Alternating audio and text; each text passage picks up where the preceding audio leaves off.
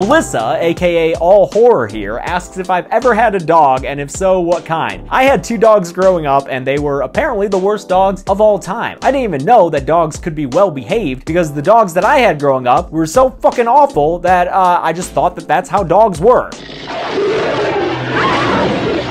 But basically, I had Holly, little gray mixed terrier who, whenever you opened the door, she would try to run out, and if she got out, well, she was around the neighborhood. Me and my sister would have to go out there with a leash in one hand and slices of American cheese in the other, and we'd have to try to fucking get Holly to come over to us close enough to, to hook her. But she would run across streets, into parks. I am shocked that dog lived to an old age and never got hit by a car. The other dog was Princess, who was a purebred Sheltie. She was something special. We would be walking her, and then uh, a lot of the times during walks, she would just give up and roll on her back. And then you'd be like, all right, I guess I have to carry this fucking dog home. So you'd walk over to her, and she'd roll onto her back and then pee. And since she was on her back, the pee would just go up and then come back down onto her just cover her in pee, man. And then she still wouldn't walk, so you'd have to carry this piss covered dog all the way home. Yeah, those dogs were were not the greatest dog. We I don't think my parents ever trained those dogs. They're pretty much feral dogs, so um,